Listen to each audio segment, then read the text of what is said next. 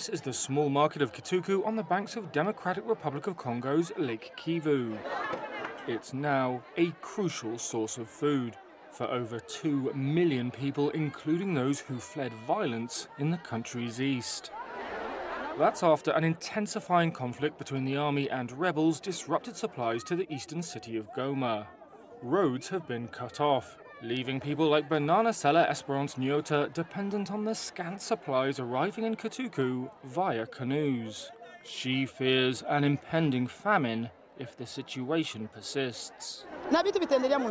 The country's authorities must do everything in their power to end the war. It's sure that after the war everything will be fine.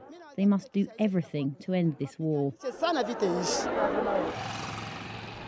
Clashes in towns and villages around the provincial capital have escalated since the start of the year. As the M23 rebel group has seized territory, thousands have sought refuge in Goma.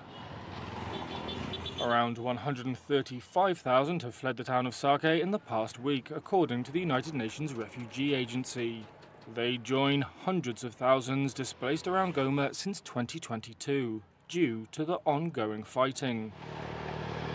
The UN agency has warned that the conflict, including indiscriminate bombing, risks exacerbating the strain on already limited resources to cater for the influx. Akili Mali Kasalemba was injured by bomb shrapnel while fleeing his village. We were many. Seven of us died on the spot, and many others were injured.